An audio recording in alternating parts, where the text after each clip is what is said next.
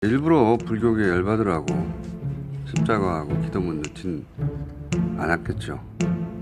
그냥 모르는 겁니다.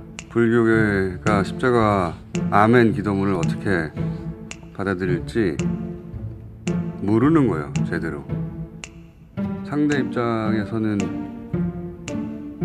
감정이입 능력이나 공감 능력 자체가 아주 낮은 거죠. 그런데 대통령실은 불교계를 위해서 백일주와 소고기 육포를 대신할 선물을 특별히 준비를 했다면서 대대적으로 홍보를 아이고, 했거든요. 고맙네요. 특별히 유포를 안 된 일을 보면서 그 전에는 또 어, 농민들에게 그 수입산 견과류를 보내가지고 먹었잖아요. 네, 맞습니다. 2022년 연말 선물로 이 농민들도 받았는데 국산이 아니라 수입산 농산물 가공식품을 전달했거든요. 농민들에게 네.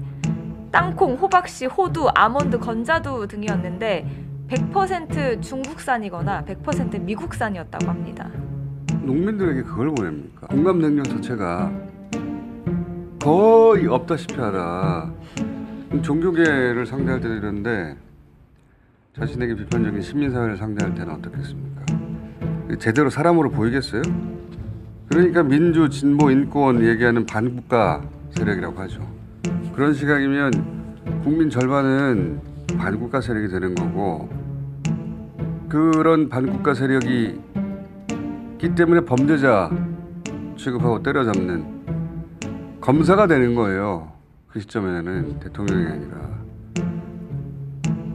안규영 앵커에게는 대통령이 없는 겁니다.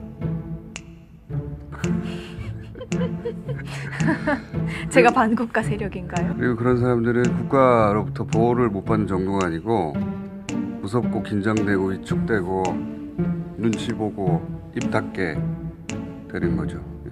그렇게 사람들을 겁먹게 해야 유지되는 정권이라는 게 정상적으로 작동할 리가 있습니까? 자신들 뜻대로 사람을 움직여야 되니까 계속해서 윽박지르고 주눅들게 해야 되는 거죠.